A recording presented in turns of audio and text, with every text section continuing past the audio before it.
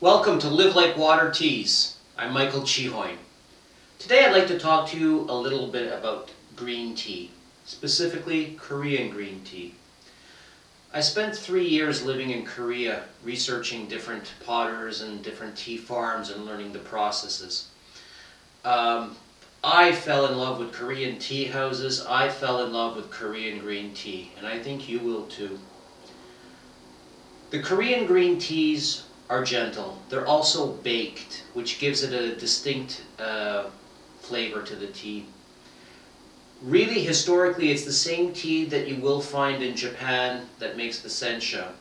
The main difference between Korean and Japanese green tea is the fact that Koreans will bake their teas when they, when they finish picking them, and the Japanese tend to steam it traditionally, I think the, the story goes something uh, the monks would go to China to study Zen, to study Buddhism, and they came back with the tea plants, but they came back with two different ways of processing.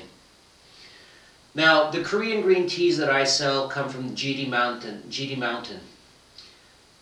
I've met the farmer. Uh, it's him and his wife. He has a small plantation, a small, well, I wouldn't even say plantation, a small tea field. And he is certified by the Korean government, so it is organic and wild. Now, I do not have any other stamp that says this is organic, so I'm not selling this as an organic tea. I'll just make that clear. But I do know that this, this gentleman and his wife, um, they're very passionate about the teas that, that, that they produce.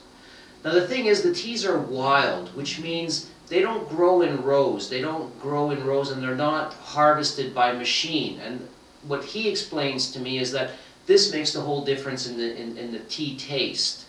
Uh, having teas that are picked by hand in a certain way, I mean, otherwise another shoot will not come out. It has to be twisted off in a certain way. Uh, it has more minerals and it has more nutrients in the tea. Okay. Uh, the women that uh, that pick the tea, uh, they work seasonally, and what happens is uh, they they walk amongst you know the the tea fields, and it's quite interesting because you find a bush and then you sit down, and they have these little seats that are kind of hooked to the back, so they can sit down and they have a pouch in front, and and they pick the teas. So that's that's a little bit of uh, how they're you know how they are harvested. Now, one, two, three. Uh, this is a good principle to, to keep in mind.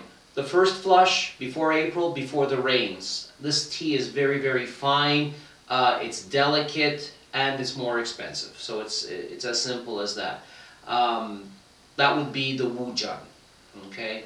Not in this picture right now. We don't have it here. We drank it all.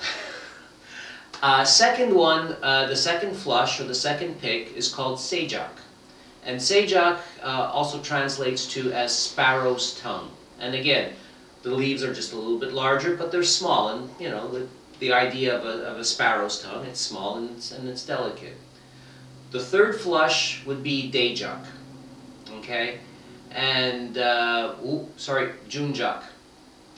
Daejak would be the fourth, and we no longer get Daejak, um, just because they don't, they don't harvest that anymore. So Junjak would be the, the, the last harvest that I, that I offer my, my clients. Okay. Normally the teas come in little packages like this. Okay, they're already prepared all uh, in Jiri-san.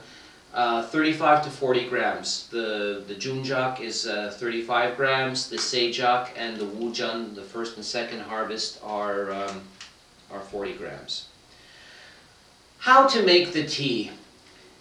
It's so simple and yet it's so complex. Um, but what I suggest is use a small teapot. Now I, I love the Korean teapots and like I said, I mean, um, I've gotten to know the, the potters in Korea, so it's, you know, it's a special treat to have your own favorite teapot. And I leave that ritual to you. And basically what I would suggest is warm up the, the tea vessel, the teapot, add hot water to it, um, just so that the temperature you know, makes, makes it warm. How much tea? Well, that's really up to you and how much, uh, how many steepings do you want to, or how many infusions do you want to make? I mean, that's, that's what it comes down to. And of course, putting too much will not yield uh, a better taste, especially in the teapot. I mean, it, it will become a, a, stronger taste, so keep that in mind. So what I would do is I would start with a, with a teaspoon, okay, Tea, teaspoon of tea. Now with the Korean teas, it is suggested that you pay attention to the water temperature. Water temperature, okay, Junjak or Daejak, the last one, uh, the, the fourth flush, 70 degrees uh, on average. So some people have these water thermoses or these water urns that well, you'll just put the setting on and then you could uh, press the button and you'll have the water that's meant for green tea or for an oolong tea or for, for, for a black tea. So, you know, there's that option. I don't suggest you use a thermometer and measure it to be so exact. Get into the, get into the habit of using intuition and, and really connecting with the tea process and the tea steeping. I mean, this is, this is a meditation in its own right. Let the water cool, and once you let the water cool, then infuse the, infuse the tea leaves. And what I suggest is, do a quick infusion. Infuse it for 30 seconds. Infuse it for 20 seconds. And then decant the tea, and then drink that. After you decant the tea, be sure to take a moment to really smell the fragrance of the tea, the, the aromas that, that, that, that are emitted. I mean, this is just wonderful. It's a great way. It's aromatherapy. It's free. Well, you got to buy the tea, so it's not exactly free. Uh, it's a great way to, to connect. And I'm telling you, if you use your imagination, if you've been to Korea or you've seen some of my pictures online, you can envision yourself there. Uh, it really, and, and remember, I mean, the whole, our senses are so powerful, so it, you know, you have that potential to, to go that far. Travel without traveling, especially during this pandemic, okay? Um, take the time, do smell the, the, the tea leaves, okay? For me, what does it smell like? What does it taste like?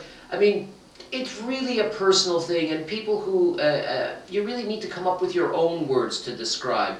For me, it's like a field. For me, it's it's it's like when the uh, when the when the field is cut, the the it's it's mowed. It's it, it's it's something like that. But again, find what works for you, and then you know that becomes a layer of, of your experience.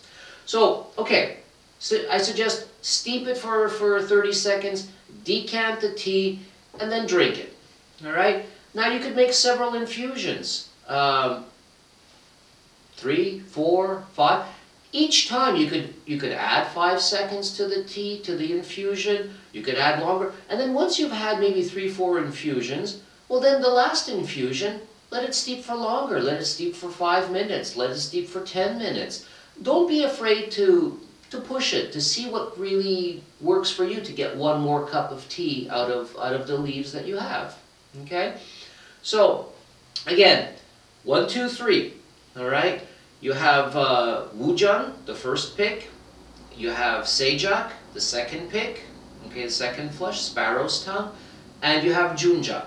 And Junjak is the third pick. And this is the one that I usually buy the more of because it's a great introduction to uh, to the Korean teas. Okay, I suggest start with the with the Junjak, and then if you want, you let me know if you're really interested in the Sejak or the Wujang, the first and second pick.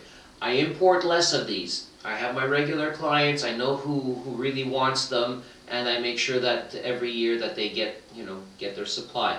Now remember, once the season for harvesting is over, that's it for the year. We wait till next year. And every harvest is a little bit different from year to year. All right, something, something to, to keep in mind. So again, Michael Chihoin from Live Like Water Teas, and this has been a little introduction into the Korean teas that I sell from Jiri Mountain.